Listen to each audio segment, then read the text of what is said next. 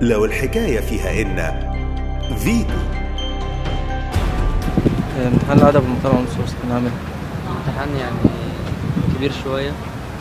بس هو يعتبر سهل. تمام؟ يعني بالنسبة للي ذاكر يبقى بالنسبة له سهل.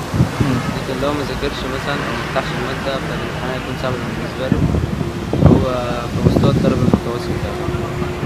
يعني اللي هو حتى لو كويس فيه أو حتى ينجح محمد. عملت إيه النهارده في امتحان والمقارنة والنصوص؟ وحليت بس الامتحان جاي صعب ومليان بطريقة فظيعة. كان كام سؤال تقريبا؟ حوالي يعني ست أسئلة بس ست أسئلة فيهم نقط كتيرة مليانة. الوقت كان مكفي الامتحان؟